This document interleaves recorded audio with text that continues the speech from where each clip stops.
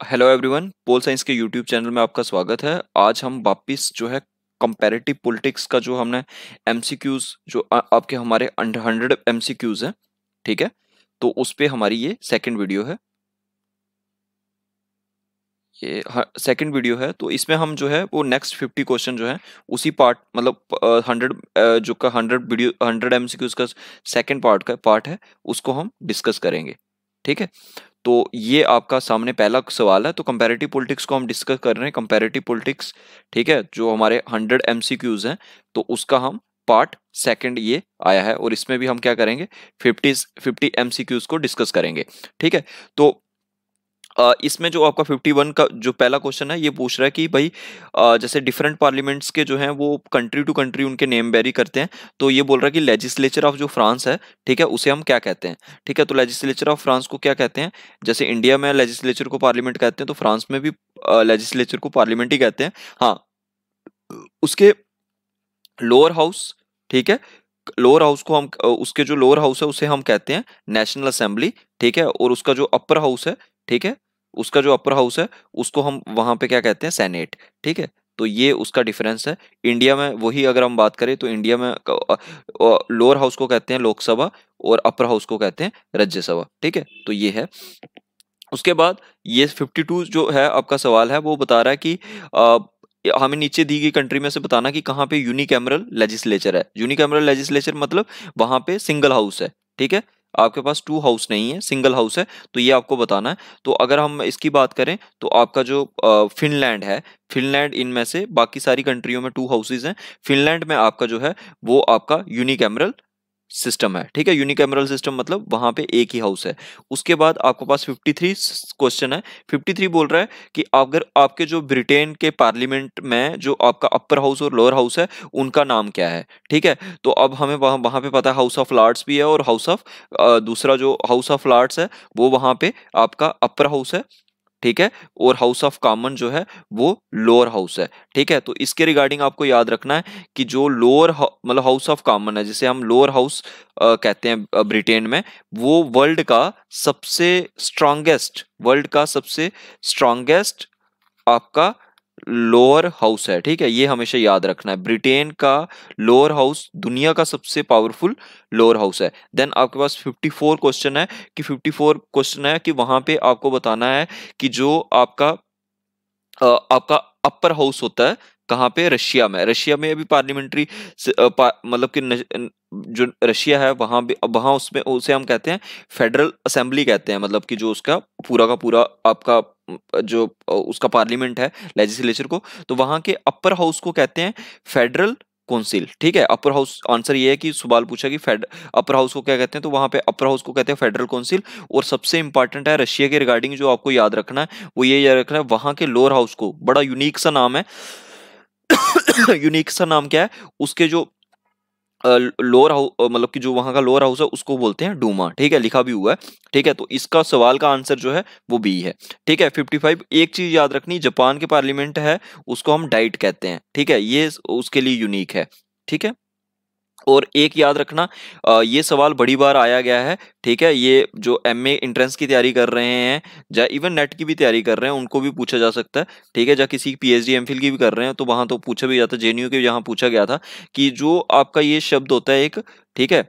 एक शब्द होता है तोश, तोशो तोशो तोशो गुडू तोशुगुडू ये जो शब्द है, ये आता है आपके भूटान के पार्लियामेंट के साथ, ठीक है? तोशुगुडू ये हमेशा याद रखना, ठीक है? डाइट होता है, डाइट है जापान का, ठीक है? जापान के जो पार्लियामेंट है, उसको डाइट कहते हैं, और डूमा जो है, वो आपका लोअर हाउस है रशिया का, उसके अपर हाउस को हम फेडरल काउंसिल कहते हैं। देन अब यहाँ पे आपका 55 क्वेश्चन है 55 क्वेश्चन ये बोल रहा है कि भाई, आपका जो इंडियन कॉन्स्टिट्यूशन अगर हम इंडियन लोकसभा की बात करें तो हु अमंग द फॉलिंग मतलब to be the custodian of Indian Lok Sabha, ठीक है? इंडियन लोकसभा का कस्टोडियन कौन होता है? ठीक है? क्या वो प्राइम मिनिस्टर होता है? लीडर ऑफ़ अपोजिशन होता है?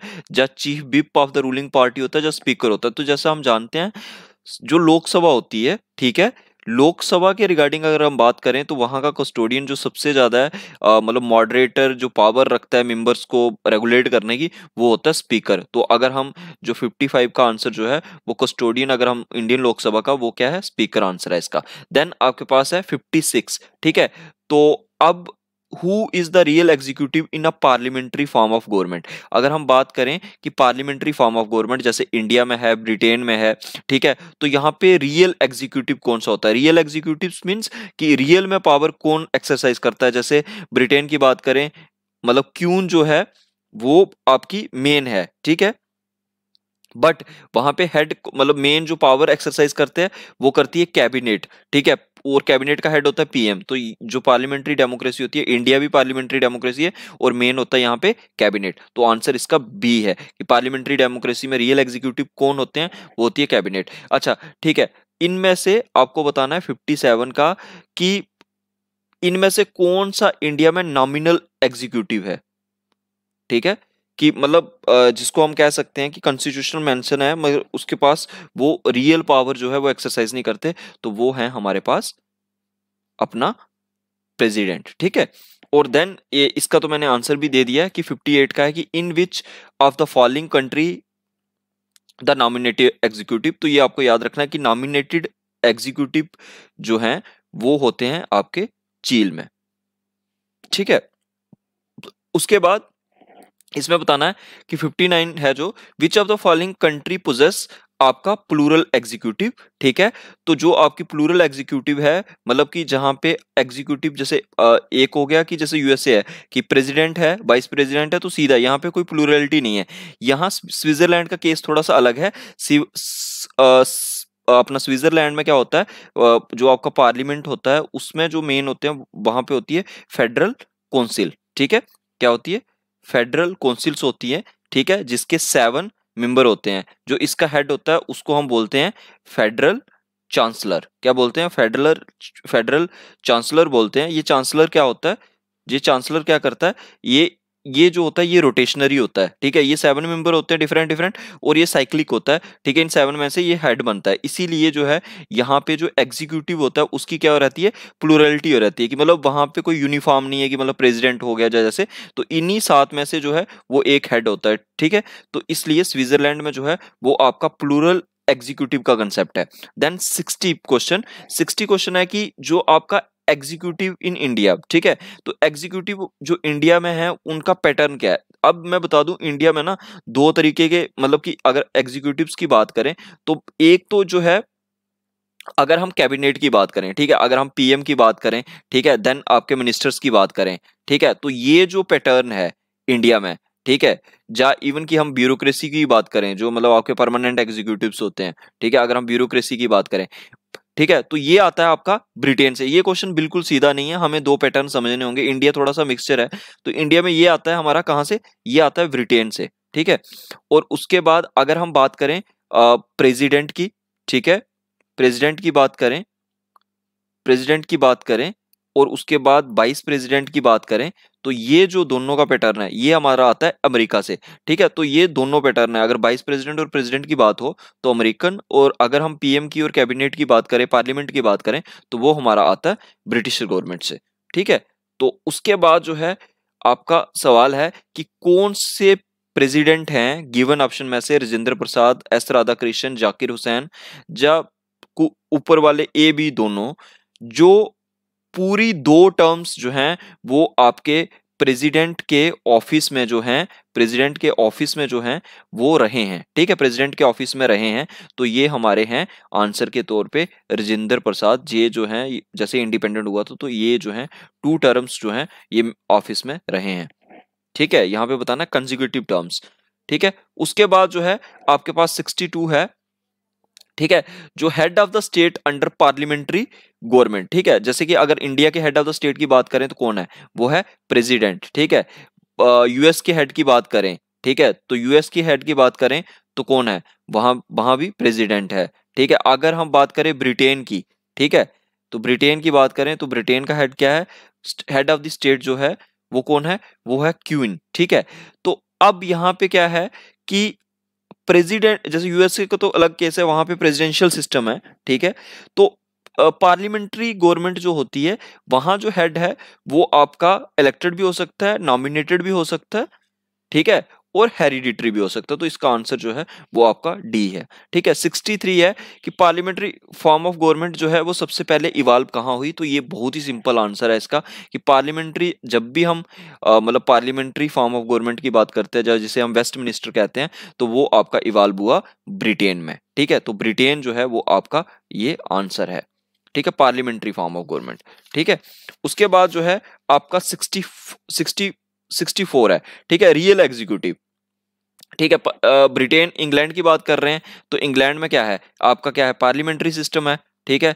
तो रियल एग्जीक्यूटिव क्या होते हैं? ठीक है रियल एग्जीक्यूटिव होते हैं कैबिनेट ठीक है? कैबिनेट में क्या होता है? मिनिस्टर्स होते हैं, यहाँ पे मिनिस्टर ऑप्शन है, ठीक है? तो who is the real executive in England तो ये यहाँ पे आगे आपके मिनिस्टर्स ठीक है? 64 का आपका आंसर नंबर बी आ गया। उसके बाद यहाँ पे हम पहले सवाल को समझते हैं सवाल बोल रहा है कि ओके सो इनमें से कौन सी कंट्री है, ठीक है, हमें यह बताना है 65 का, कि इनमें से कौन सी कंट्री है जिसमें पार्लियामेंट्री सिस्टम नहीं है, ठीक है? तो पार्लियामेंट्री फॉर्म ऑफ़ गवर्नमेंट नहीं है तो वो आपका यूएसए है। यूएसए में कौन सा कौन सा सिस्टम है? यहाँ पे प्रेसिडेंशियल प्रेसिडेंशियल सिस्टम है, ठीक है? क्वेश्चन आपके पास ये है कि अभी जो है प्रेसिडेंट के इलेक्शन कौन जीत के आया है वहाँ पे? और वो कौन सी पार्टी का बंदा है, ठीक है? तो ये आप जो है कमेंट में कर सकते हैं। उसके बाद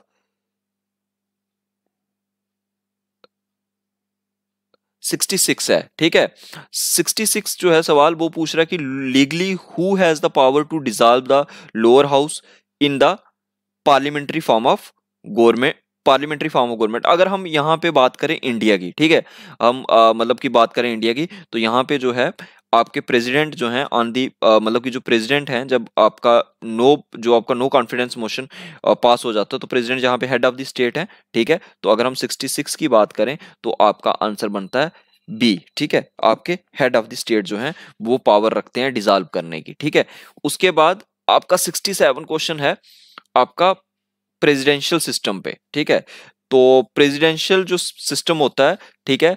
उसमें जो हेड ऑफ़ द स्टेट है ठीक है जैसे हम मान लो कि यूएस का प्रेसिडेंट है ठीक है जैसे अभी ट्रंप था तो इसमें क्या होता है कि cannot be remove by the legislature कि जो आपका हेड ऑफ़ द स्टेट होता है प्रेसिडेंशियल सिस्टम है वो लेजिस्लेचर uh, उसे रिमूव ही नहीं कर सकता जा लेजिस्लेचर के द्वारा रिमूव किया जा सकता है जा लेजिस्लेचर के द्वारा रिमूव किया जा सकता है पर यह बड़ा डिफ़िकल्ट प्रोसेस होता है ठीक है तो इसका जो आपका 67 है ठीक है, अगर 67 की बात करें तो इसके लिए सी वैलिड है।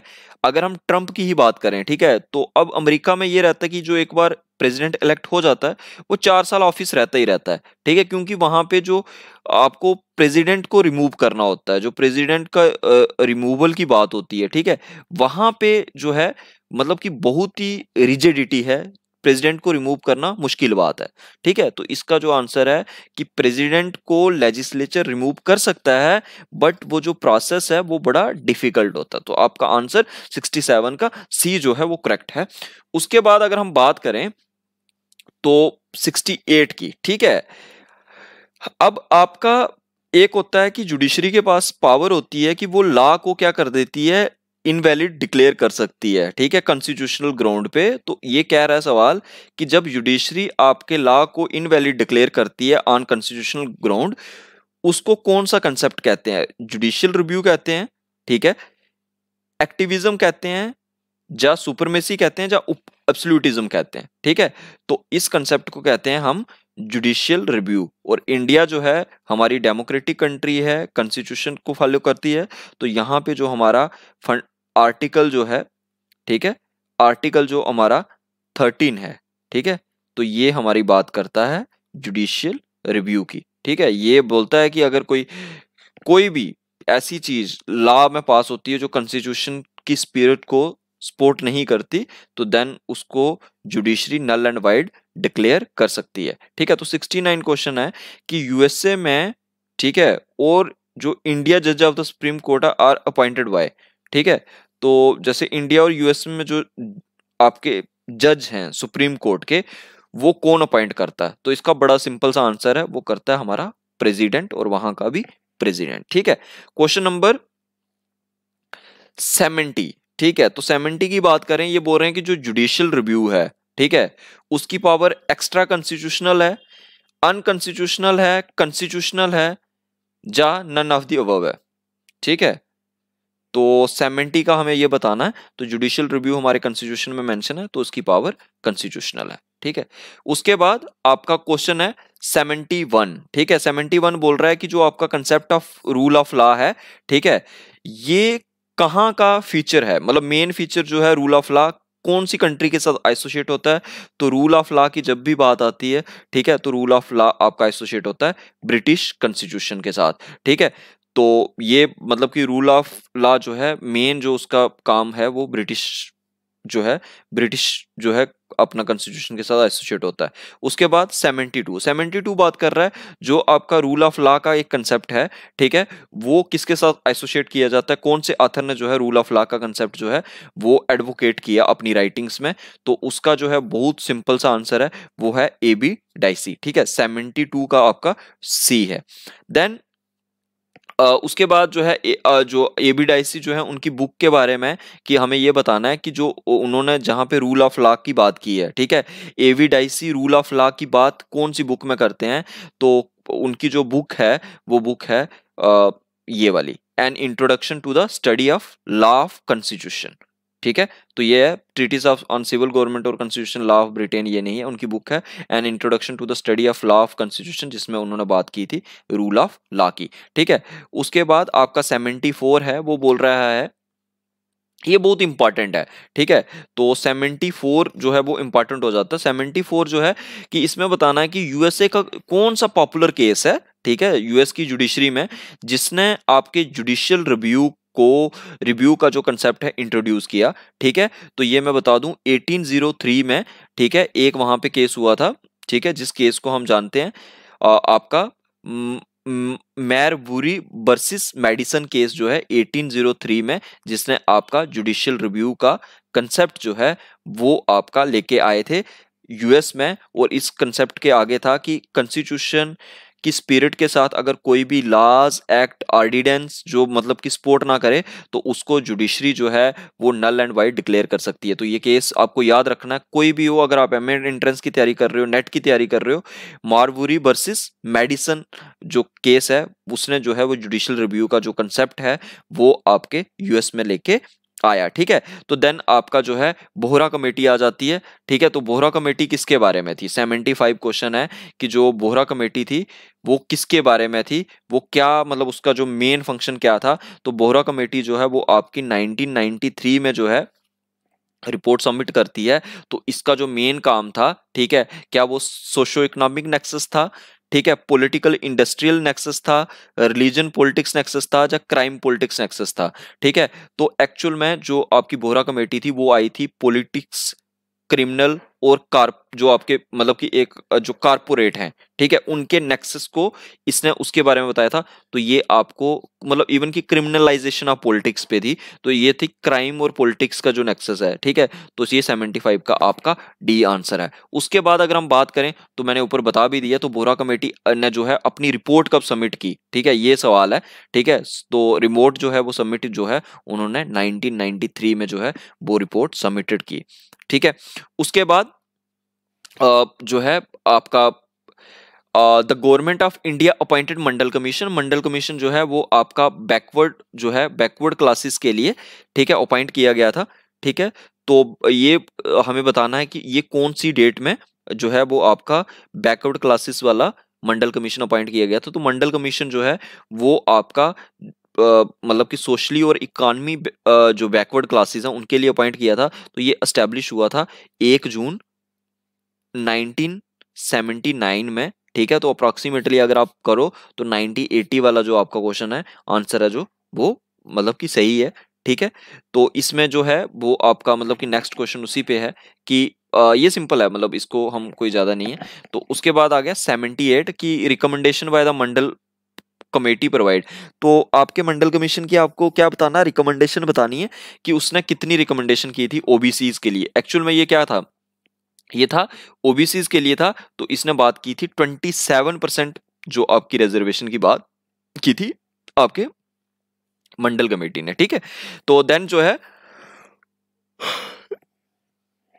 सो so, सॉरी उसके बाद हाँ सेवेंटी नाइन जो है उसके बाद आपका जो है एस सी एस टी ठीक है? आपका जो एस सी एस टी जो कमीशन है ठीक है? नेशनल कमीशन तो ये बना टू थाउज़ेंड जो मतलब एस सी कमीशन था पहले, सबसे जो पहले, ठीक है? तो ये आया है आपका 1978 में, ठीक है? तो अब ये बता रहा है कि who was the first chairman of S C S T ठीक है? तो यहाँ पे जो है, ये जो पहले, जो सबसे पहले चेयरमैन थे, जब 1978 में जो है, वो कमीशन ऑन एस सी बना तो उसके थे, ये बूटा नहीं है, ये सॉरी ये बोला पासवान बोला पासवान शास्त्री थे ठीक है पहले ये आपके मतलब बिहार के जो है दो बार दो बार से ज़्यादा जो है वो सीएम रह चुके हैं ठीक है? तो ये बोला पासवान जो आपके शस्त्री हैं ये आपके फ़र्स्ट कमीशन थे ठीक है? उसके बाद उसके बाद है कि who is the present chairman of the nation commission for schedule caste ठीक है? तो ये हमें बताना है कि जो आपका मतलब कि नेशनल जो आपका मतलब कि जो अभी आ, दो मिनट वेट हाँ सो जो अभी आपका जो है who is the present chairman of the national commission for schedule caste कि ठीक है, कि बूटा सिंह है, ठीक है जब डॉक्टर पी एल पूनिया है, या सूरज वान है, ठीक है तो ये आपका आंसर है। इसका आंसर जो है, अभी के लिए जो है, इसका मतलब कि none of the none of these है, ठीक है। और जो आपके सूरज, यहाँ पे जो आपके सूरज बहन है, ये आपके फ़र्स्ट मतलब एससी जो आपका शेड्यूल कास्ट का कमीशन था, उसके 2000 क्योंकि ये जो आपका नेशनल कमीशन ऑन एससी मतलब शेड्यूल कास्ट पे बना था, ये बना था आपका 2004 में, और सूरज बहन जो थे, वो आपके पहले मतलब कि जो थे, चेयरमैन थे इस कमीशन के। ठीक है, ये आपके लिए फैक्ट है। ठीक है, उसके बाद जो आपका इंटरनेशनल ह्यूमन राइट डे है, ठीक है? तो ये सिंपल सा सवाल है। इंटरनेशनल ह्यूमन राइट डे जो है ह्यूमन राइट्स डे जो वो है, वो कब ऑब्ज़र्व किया जाता है? तो ये सिंपल आंसर है इसका। 10 दिसंबर को जो है, वो आपका 10 दिसंबर 1948 को जो है, वो आपका पहला जो human right international human right जो है, इस डेट को जो है, वो डिक्लेयर किया गया। देन जो है 82 ठीक है? Protection of human right act जो है, वो इंडिया में कब पास किया गया? Protection of human right act जो है तो इसका जो है, ये हुआ था आपका 1993 में। Protection of human right act of India ठीक है? तो ये हुआ था ट्वेंटी अब ये आजकल क्या करते हैं? डेट्स वगैरह भी पूछ देते हैं तो ये ट्वेंटी जैन 1993 में जो है, वो आपका protection of human right act of India जो है, वो पास हुआ था, ठीक है? तो इसी ने जो है वो आपका जो मतलब कि नेशनल ह्यूमन राइट कमीशन है, ठीक है? तो उसको लेके आए थे, ठीक है? जो 12 अक्टूबर 1993 में पास हुआ था। तो देन जो है आपका 83 83 में बताना है कि जो आपका universal declaration of human right है, ठीक है? उसके मतलब वो क्या कंसिस्ट करता है? जैसे मतलब उसकी कंपोजिशन जो मतलब कि वो कैसे कंस्टिट्यूट करता है? कितने पार्ट्स हैं? ठीक है, कितने आर्टिकल हैं? तो उसके जो आर्टिकल हैं, वो तीस आर्टिकल हैं। ठीक है? ये हमें याद रखना है universal declaration of human right के तीस आर्टिकल हैं। ठीक है? तो 83 का अगर हम बात करें तो 83 का अगर आपका जो आंसर है, वो वन बनता है। ठीक है? इस पर हम ज़्यादा टाइम नहीं है, ये फैक्चुअली है। उसके बाद जो है, जो जनरल असेंबली ठीक है ना? तो इंटरनेशनल जो आपका, जो कॉबिनेंट है on a civil and political rights है, ठीक है? ये कब फोर्स हुआ, ठीक है? International covenant on civil and political rights ये जो है वो मतलब कि जो इंट्रोड्यूस किया गया वो 1996 1966 में हुआ, लेकिन जो इसका आंसर है वो पास जिसे हम फोर्स करने की बात कर रहे हैं तो फोर्स हुआ आपका 1976 में, ठीक है? तो 84 का आपका जो है, वो है जनरल असेंबली में international covenant on civil and political rights पे आपका 1976 में जो है, वो फोर्स में हुआ, आया। उसके बाद 85 जो है आपका कि the power of appointing and removing the chairperson of a national human right commission NHRC की जो मतलब कि चेयरपर्सन है, उसको रिमूव करना। ठीक है? और ऑफ़िस में रखना, उसकी पावर कौन रखता है? तो ये इसका आंसर बहुत ही सिंपल है दैट इज़ अ प्रेसिडेंट ठीक है? उसके बाद 86 ठीक है? तो 86 जो है, वो आपका सवाल है, ठीक है? कि who was the first chairperson of national human right commission 1993 में आया ये तो इसके जो पहले जो चेयरमैन थे, वो थे आपके जस्टिस रंगानाथ नाथ मिश्रा ठीक है? ये क्या थे? ये चीफ जस्टिस ऑफ़ इंडिया भी रहे हुए हैं, ठीक है? सीजीआई ये इंडिया के भी रहे हुए हैं। तो chairperson of national human right commission जो थे, वो थे आपके फ़र्स्ट जो आपके सीजीआई जस्टिस रंगानाथ रंगानाथ मिश्रा ठीक है? उसके बाद 87 87 बोल रहा है कि who is the present chairperson of national women's commission in India who is the present ठीक है कि अभी जो है वो चेयरपर्सन नेशनल वुमेन कमीशन की कौन है? गिरिराज व्यास है जयत्री पटनायक है ममता शर्मा है ठीक है? तो अभी जो है आपकी आ, मतलब कि आपका जो प्रेजेंट चेयरपर्सन है ठीक है? तो वो है हमारा उनका नाम है रेखा शर्मा ठीक है? रेखा शर्मा जो है वो अभी आपकी प्रेजेंट चेयरमैन है और ये जो आपकी गिरी गिरिजिया व्यास हैं, ये आपकी फ़र्स्ट जो है, वो चेयरपर्सन थी। ठीक है? 87 का। ये याद रखना, national women commission in India पे फ़र्स्ट जो उनकी चेयरपर्सन थी, वो थी गिरिजिया व्यास और अभी की जो है, वो है रेखा शर्मा, इनसे पहले थी ममता शर्मा। ठीक है? तो ये इनका है। उसके बाद ये ये थोड़ा सा क्वेश्चन में कोई प्रॉब्लम है। उसके बाद जो है, जो आपका 89 सवाल है, वो डिस्कस कर रहा है कि world summit on sustainable development took place in ठीक है? तो ये जो आपका 89 है, ये बात कर रहा है कि जो आपका वर्ल्ड समिट था सुस्टेनेबल डेवलपमेंट पे, ये कब जो है मतलब कि कब हुआ, इसका कब टुक प्लेस हुआ? तो इसका जो आपका आंसर है, ठीक है? तो ये हुआ था आपका 26 अगस्त, ठीक है? 26 अगस्त से लेके 4 सितंबर 2002 तक, ठीक है? तो जगह थी आपका जोशनवर्ग जोहनसर जोहन्सवर्ग साउथ अफ्रीका ठीक है? जोहन्सवर्ग साउथ अफ्रीका ठीक है? तो ये हुआ था डी इसका करेक्ट आंसर जो world summit on sustainable development है, जो वो हुआ था, ठीक है? जोहन्सवर्ग साउथ अफ्रीका में 26 अगस्त से लेके आपका 4 सितंबर तक। ठीक है? तो देन जो है नेक्स्ट क्वेश्चन है नेक्स्ट क्वेश्चन है कि भाई, आपका जो वर्ल्ड इन्वायरमेंटल डे है, ठीक है, ये सिंपल क्वेश्चन है वर्ल्ड इन्वायरमेंटल डे जो है, वो सेलिब्रेट कब किया जाता है? तो सितंबर सिक्स को किया जाता है जून फाइव को किया जाता है अक्टूबर सिक्सटीन को किया जाता है या अप्रैल फोर को किया जाता है तो आपका वर्ल्ड इन्वायरमेंट डे जो है, वो आपका जून फोर को सेलिब्रेट किया जाता है, ठीक है? UN conference on environment and development ठीक है? UN conference conference on environment and development ठीक है? वाज हेल्ड एट ठीक है? तो इसको जो है वो 1992 में जिसे हम अर्थ समिट के नाम से जानते हैं, ठीक है? ये आपका हुआ था रियो दो जेनेरियो में, ठीक है? जो है ब्राज़ील में है रिया दे रिया दे जेनेरियो जहाँ पे 1992 में जिसे हम अर्थ समिट भी कहते हैं। ठीक है? देन आ गया आपका 19 which organ of UN has the power to maintain peace security all over the world ठीक है? कौन सी जो आपकी यूनाइटेड नेशन की ऑर्गेनाइजेशन का जो मतलब कि मेन पार्ट है यूनाइटेड नेशन का जो मतलब पार्ट है, ठीक है? उसके सिक्स पार्ट है, उसमें से कौन सा पार्ट है जो मेन काम करता है किसका? पीस मेंटेनेंस का काम करता है, ठीक है? पीस मेंटेनेंस का काम कौन करता है? इन सारे के सारे जो आपके गिवन ऑप्शन है इकोनॉमिक एंड इकोसोक करता है सिक्योरिटी काउंसिल करता है यूनेस्को करता है या जनरल असेंबली तो आंसर है इसका सिक्योरिटी काउंसिल पीस और सिक्योरिटी की बात आपका इकोसोक करता है, ठीक है? देन जो है सिंपल सा सवाल है 1990 सॉरी 93 कि आईपीसीसी किसके लिए स्टैंड करता है?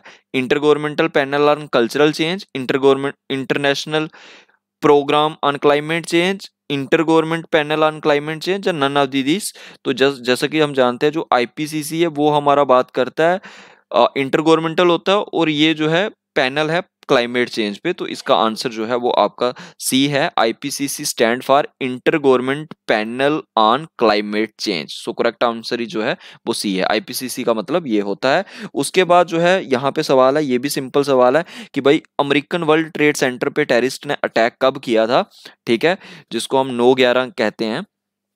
ठीक है? तो 94 का जो है आंसर जो है आपका सी है ठीक है? आई होप कि मैं थोड़ा सा जल्दी कर रहा हूँ लेकिन ये है कि आपको मैक्सिमम फैक्ट पता चल जाए तो अमेरिकन वर्ल्ड ट्रेड सेंटर पे जो है वो आ, जो है वो सितंबर 11 2001 में हुआ था। देन आ जाता है आपका मुंबई टेररिस्ट अटैक ठीक है? ये जो है, ये कब हुआ? ठीक है, ये मुंबई टेररिस्ट अटैक जो है, वो कब टुक प्लेस हुआ? तो 95 का आपको बताना है, ठीक है? तो ये जो है हमारा रिसेंट है तो ये हुआ था हमारा 2008 में, ठीक है? 29 नवंबर जो है 29 नवंबर जो अभी जो है, इसका जो है ईयर जो, वो है 29 नवंबर को था, अभी रिसेंट जो है हुआ है तो 2008 में। देन जो है इस पे आपको बताना है टेररिज्म ये फैक्चुअल क्वेश्चन है ये आप याद रख लेना टेररिज्म एंड ग्लोबलाइजेशन ठीक है? ये बुक किसने लिखी है? तो ये बुक लिखी है मैं ज़्यादा इस पे टाइम नहीं लूँगा जेम्स डी किरन्स ने ठीक है? तो ये टेररिज्म एंड ग्लोबलाइजेशन पे क्योंकि दो क्वेश्चन थे ऊपर टेररिज्म पे। उसके बाद एक और बुक है जिसका नाम है इनसाइड टेररिज्म ठीक है? तो ये भी आप याद रखना ये बुक लिखी है ब्रूस हॉबमैन हौ, ने। ठीक है? 97 का इनसाइड टेररिज्म जो बुक है वो written by Bruce Hoffman then जो है 98 है। 98 है कि भाई इनमें से ओल्डेस्ट कॉन्स्टिट्यूशन किसका है? वर्ल्ड का। ओल्डेस्ट कॉन्स्टिट्यूशन बताना वर्ल्ड का, ठीक है? तो ओल्डेस्ट कॉन्स्टिट्यूशन की बात करें तो हम वो आ जाता है हमारे पास ब्रिटेन अगर हम written constitution old written constitution की बात करें तो वो हमारे पास ये आ जाता है यूएसए ठीक है? तो बट जो इस सवाल का आंसर है, जो ओल्डेस्ट कॉन्स्टिट्यूशन की बात हो रही है तो वहाँ पे हमारा आंसर क्या है? आंसर है हमारा ए उसका है ब्रिटेन ठीक है? उसके बाद उसके बाद आपका आपका सवाल है अगला, ठीक है? ब्रिटेन कितनी, ब्रिटेन की कितना पार्टी सिस्टम है? मतलब ओब्लिक में बताना है वन पार्टी है टू पार्टी है मल्टी पार्टी है नन ऑफ़ द अबव है। तो 99 का जो है, ब्रिटेन में जो है, वो आपका टू पार्टी सिस्टम है, ठीक है? टू पार्टी सिस्टम है और वहाँ पे जो आपका मेन पार्टीज़ हैं, ठीक है? एक है वहाँ पे कंजर्वेटिव पार्टी जिसका अभी मोरिस जॉनसन जो रूलिंग पार्टी का लीडर भी है, ठीक है? और कंजर्वेटिव पार्टी ठीक है?